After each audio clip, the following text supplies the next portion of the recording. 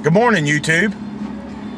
We're at the gas station gassing up the truck, and uh, we're headed out on a service call. I put an air handler in on this job uh, this past winter because the, they had an old, like 1980 something Rheem air handler. Uh, it was actually just an electric furnace with a coil sitting on top. Very, very old stuff. It wasn't heating anymore, so we put a new, we put an air handler with a with a strip heat. Uh, I highly recommended this customer to change the condensing unit out at the time of the air handler because the condensing unit was in really bad shape. The condenser coil is all smashed up, half of it's closed, and plus the compressor, you could tell it just wasn't pumping right. It was making a loud noise and it was really struggling to pump. And uh, about two months ago, I had to go out and he said it just wasn't cooling right, and I had to add more gas to it to even make it, you know, to make it pump and my pressures were really high. And I told him again, you know, we need to go ahead and change this thing out. And, uh, you know, he still didn't want to. so he called me out yesterday and said he wasn't cooling again. I went out there and I found the compressor dead. Uh, we had equal pressures. I took a picture. I had my two Z manifolds hooked up. I had the low side Z manifold and the high side Z manifold hooked up. And uh, I will, uh, I, I, took a picture, so I'll post a screenshot of that here on the video in a little while. And, uh, and you'll see that the pressures are equal. We have like 125 and 125, and and the compressor's running. It's just not pumping. So uh, we'll uh, so when we get there, we'll uh, we'll show y'all uh, we'll show y'all that, and we're gonna move him to a 410A heat pump because um, the air handler is made for 410A. So uh, that's what we're gonna do for him. Alright guys, here is our unit that we will be replacing today. Heil 12 SEER. And you can just see the condition of the coil. It's in pretty rough shape. It's flaking. Compressor's just pumping, I mean uh, running and not pumping. Equal pressures. So uh, we got to run new thermostat wire because we don't have enough for a heat pump and uh, set the new one in place. So we're going to get started. Alright guys, we got the old condenser removed. There's my stat wire, eight strand, going underneath the house, following the line set. Tyler's underneath the house. He just fed it to me. So it was actually relatively easy to feed the thermostat wire. So all we got to do now is set the condenser in place solder it, wire it up, and then go wire it up for a heat pump inside, change the thermostat inside to a heat pump stat, and they'll have a heat pump.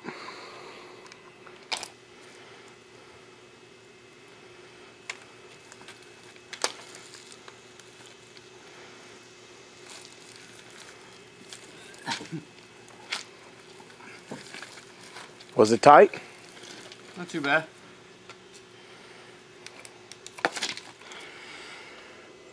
Alright guys, we've got our new heat pump in place. We have all the copper fitted up. Nice bins, got the dryer in. Everything's ready to braze. I got to pull the Schraders out, flow the nitrogen, and start brazing. And then we'll start a vacuum on the system while we wire everything up. Guys, we have the system in a vacuum. Um, I'm using my Appion core tools to take the cores out and I've switched over to the BluVac gauge. We're down to 255 microns. Uh, I lost my Fieldpiece gauge so I had to get a new one so I decided to try the BluVac and I really like it. Uh, we're pulling down nicely. I'm going to wire up the low voltage. The high voltage is done. And uh, go inside and redo the low voltage because we're, we're moving to a heat pump. Mount a stat and start the system up. Alright guys, we have our core tools valved off and we are holding solid at 103 microns. I mean, it's not budging. So I'd say we got a good tight seal on this unit. So now I am going to unhook the vacuum pump, get the smart tool hooked up, and release the charge and start the system up.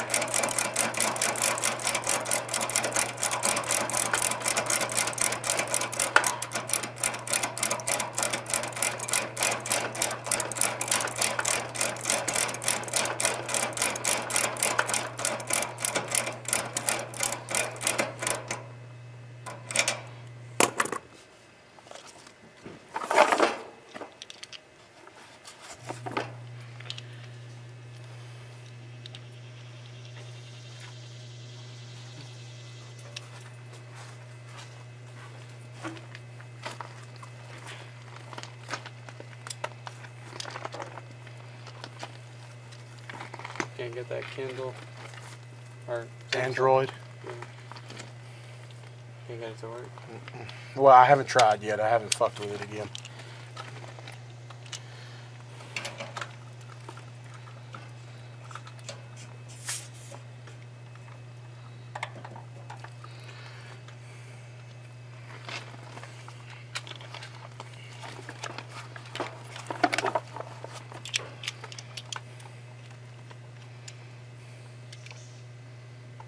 That thing's broken.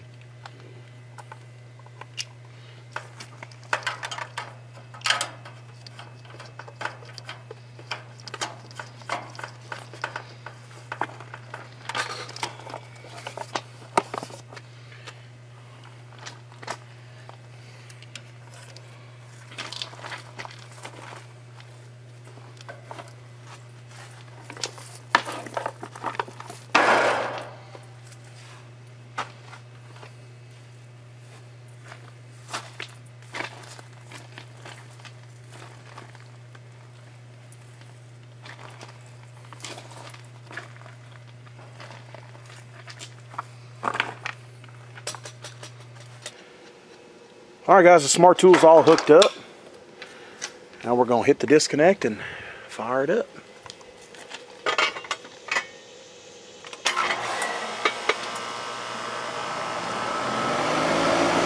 There we go.